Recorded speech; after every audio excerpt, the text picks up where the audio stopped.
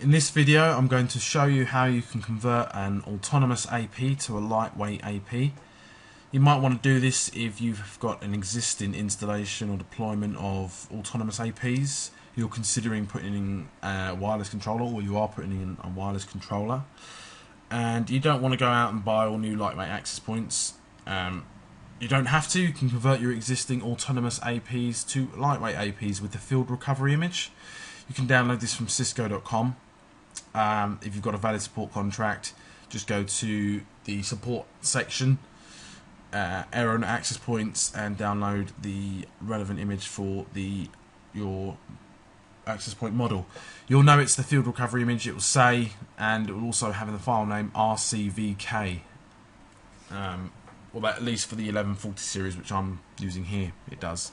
Uh, but it should say when you go to there's, there should be a few options: the lightweight, autonomous, and the field recovery image. You need the field recovery image. Okay, so the command we're going to use is the archive command. I'm going to say download SW. We're going to overwrite, and we're going to reload after we after we load the image. So what does that mean? So we're going to archive, download the um, software, and we're going to overwrite the existing autonomous image. And after we've loaded it, we're going to reload the access point. Now we've got a few options here. We can either get it, grab it HTTP, Flash, uh, from Flash if it's preloaded, or we can download it via TFTP. So I'm going to do it, do it via TFTP. I'm going to do 192.168.2.3 and oh, I believe it's 1140 RCVK 9W8 dash tar 152 dash 2 JB dash tar. I think that's it. Uh, so hopefully, there we go. Yep. So it's loading the image.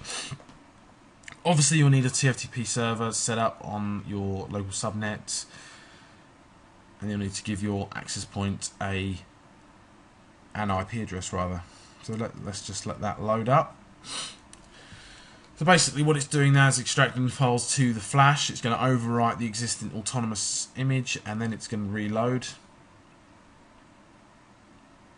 So what I'll do is I'll pause the video and once it's all reloaded and up and running again I will come back to you. Okay, so we're back and the access point's now loaded and you'll see from this screen we've got uh, lots of CapWap stuff going on. Um, could not resolve CapWap controller. I haven't got a controller plugged into the network at the moment.